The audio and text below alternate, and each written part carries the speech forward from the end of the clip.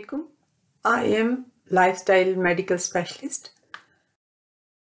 Today I want to talk about non-communicable diseases and how we can prevent them. The, there are four main types of non-communicable diseases, cardiovascular diseases, cancer, chronic respiratory diseases and diabetes. And there are many other types and primarily these occur due to overweight and diabetes mellitus. They include hypertension, metabolic syndrome, rheumatoid arthritis, osteoarthritis, and many more. Now, it's better to eat smart, move more, and weigh less. So, use your feet, uh, eat fresh fruits and vegetables, don't smoke, sleep well, stress less, and love more.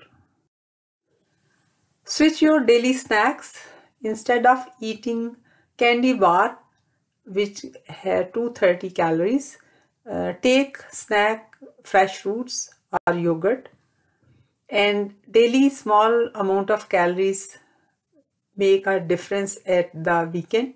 So you can lose 735 calories. It means you are losing uh, one and a half pound of weight.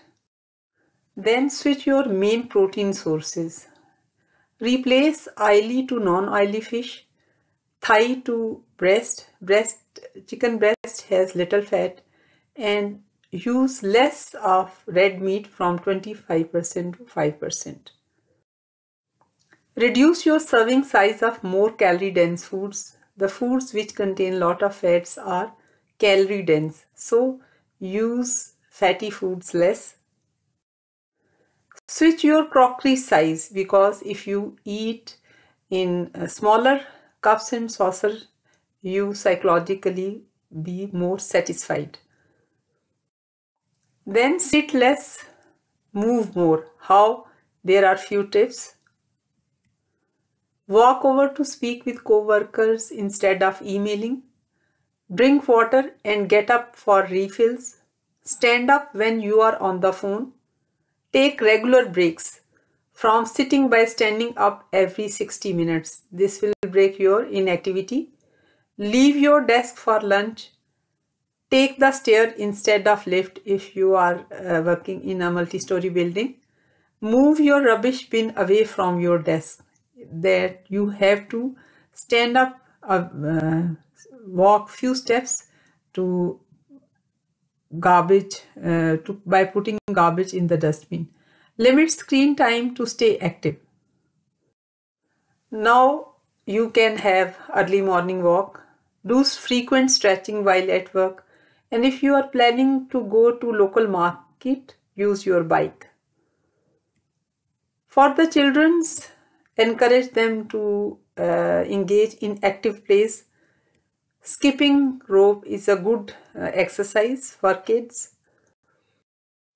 Then sleep well. According to universal clock, sleep at night and wake early in the morning. Ways to foster positive thinking, recall positive self uh, life events, perform acts of kindness, practice mindfulness, be present in the moment, don't worry too much about future and don't recall bad events which had occurred in your past. Express gratitude. Love people more. Thank you for watching. If you have any query, you can inbox me.